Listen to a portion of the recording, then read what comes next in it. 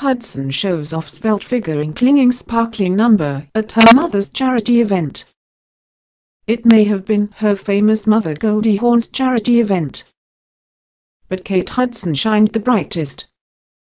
The 38-year-old actress showed her support at the Goldie's Love In for Kids event in Los Angeles on Friday night.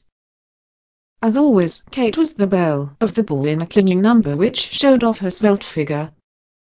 The white number featured a sparkling detailing all over it complete with a grey fade down the torso and toward the bottom of the long sleeves.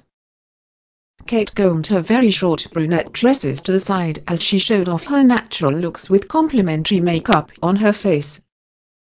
It was definitely a family affair as she was joined by 13-year-old son Ryder Robinson. The mother and son combination were also joined by Goldie, longtime boyfriend Kurt Russell, and his son Wyatt Russell.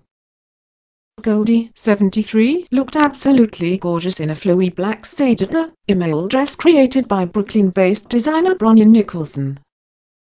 The dress featured plenty of sheer detailing including around her shoulders and down her cleavage. She had her signature blonde locks flowing down over her shoulders. Goldie accentuated her youthful glow with natural makeup topped off with smoky eye. Her annual gala directly benefits her 13-year-old MindUP program, though the Hawn Foundation, which is taught in over 600 schools worldwide,